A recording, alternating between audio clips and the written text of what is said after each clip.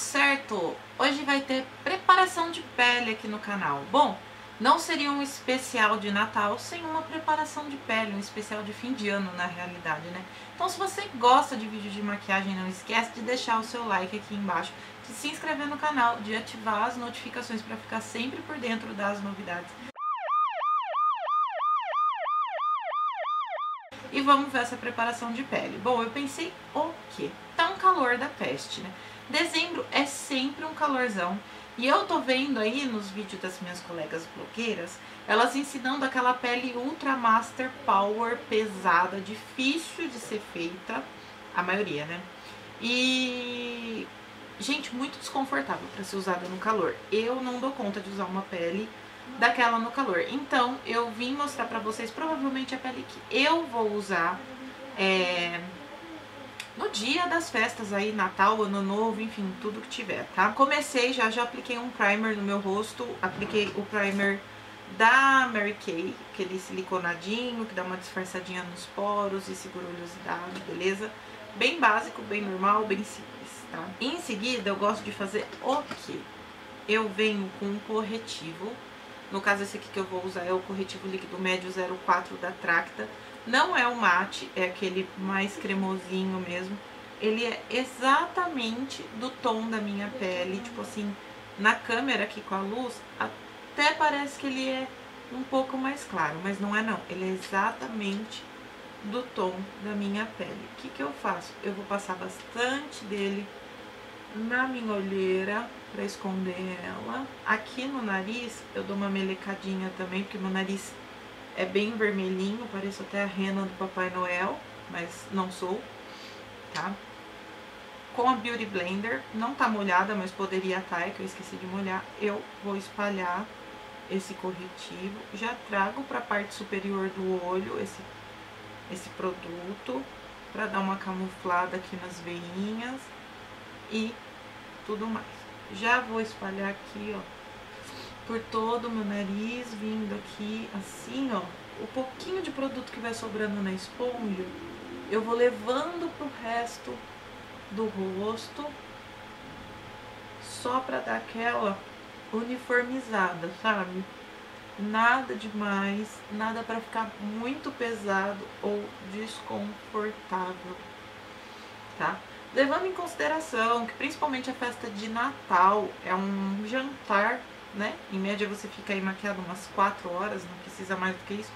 Não precisa ser uma maquiagem de tanta duração, de alta duração, é mais uma maquiagem de efeito para você sair bonitinha nas fotos, não é? Você pode pegar qualquer corretivo mais claro, tá? É que o meu da Ruby Rose que eu gosto acabou. Então eu vou vir nessa paletinha da Benai. Vou pegar esse clarinho aqui do meio, só para dar uma iluminada aqui abaixo do olho. Bem pouquinho, assim, só pra dar um tchanzinho. Com o que tem de sobra do mais claro, vou vir no topo do meu nariz, no centro da testa e no queixo. E aí você espalha bem. Tá vendo? Não tem muito segredo essa maquiagem. Com o pó da Vult, o 02, eu vou selar isso aqui Embaixo do olho eu vou vir com um pincel bem pequenininho para garantir que eu vou preencher bem essas linhazinhas, como eu usei um produto cremoso, tá? Para garantir que vai ficar tudo no lugar. Depois que eu apliquei debaixo do olho, eu vou vir com um pincel Dual Fiber, porque o Dual Fiber vai me dar menos, menos cobertura.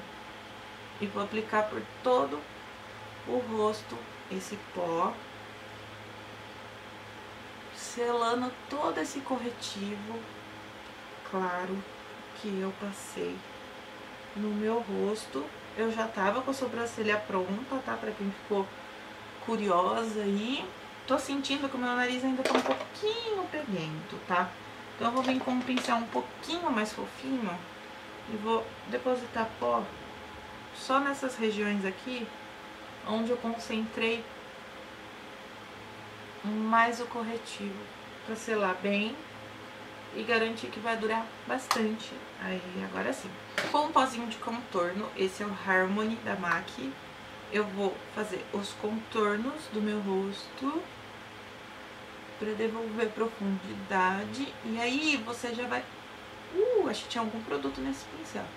Criando a demarcação do seu rosto, sabe? Devolvendo as profundidades.